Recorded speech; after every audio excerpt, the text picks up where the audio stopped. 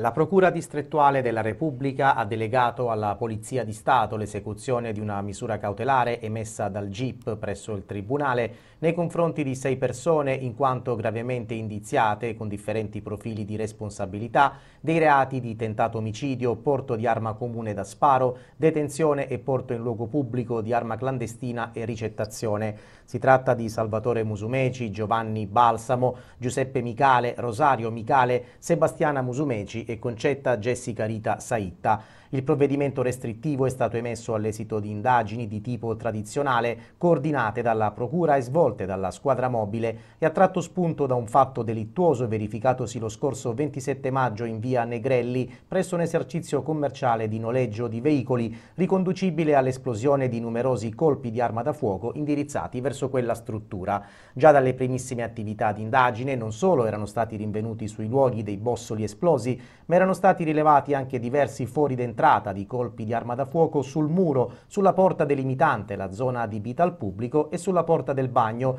e sono stati refertati al contempo due cartucce calibro 7,65, rinvenuta sotto un'autovettura parcheggiata nelle immediate vicinanze dell'esercizio commerciale, una pistola con matricola a brasa munita di colpo in canna e con annesso caricatore contenente quattro cartucce. I successivi approfondimenti eseguiti incrociando i dati cognitivi derivanti dalle escussioni testimoniali con quelli desumibili dalla disamina dei sistemi di videosorveglianza interni ed esterni al citato autonoleggio hanno poi permesso di ricostruire quanto sarebbe verosimilmente accaduto e quindi di ricondurre lo spunto iniziale dei fatti a una lite tra Giuseppe Micale, figlio di Rosario Micale, entrambi gestori del richiamato noleggio, e un soggetto non destinatario dell'ordinanza cautelare, a seguito della quale sarebbe derivato da un canto l'intervento in favore di quest'ultimo di Salvatore Musumeci, a sua volta accompagnato da un gruppo di fiancheggiatori, intervento attuato mediante l'esplosione con una pistola di ripetuti colpi d'arma da fuoco indirizzati ad altezza uomo nei confronti di Giuseppe Micale,